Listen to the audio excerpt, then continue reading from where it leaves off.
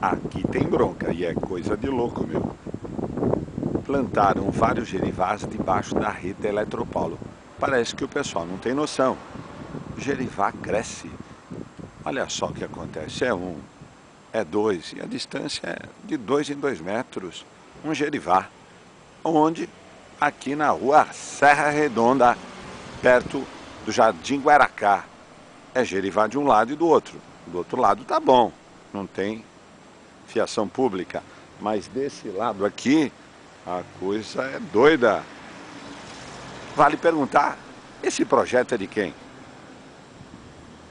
Quem forneceu as mudas? Quem plantou?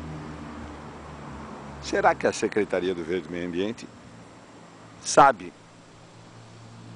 o que acontece aqui na Serra Redonda,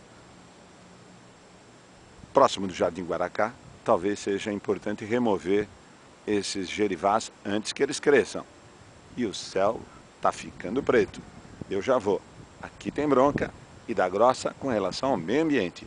Gerivá de baixo da rede de fiação pública não dá.